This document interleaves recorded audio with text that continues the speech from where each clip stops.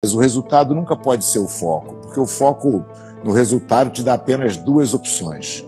Ou você não consegue e se frustra, ou você consegue e se veste de uma soberba que você não deveria.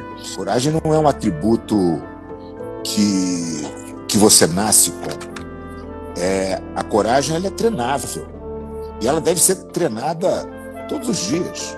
A, a escola de jiu-jitsu é é com esse olhar de desenvolvimento pessoal, para as pessoas irem ali e serem melhores todos os dias, para que elas tenham o jiu-jitsu como ferramenta, como a gente teve.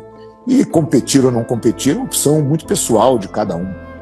O jiu-jitsu carrega a cultura do Brasil para tantos lugares, que a gente deu oportunidade de trabalho para tantos jovens que, que escolheram também o jiu-jitsu como esporte, como, né, como meio de vida.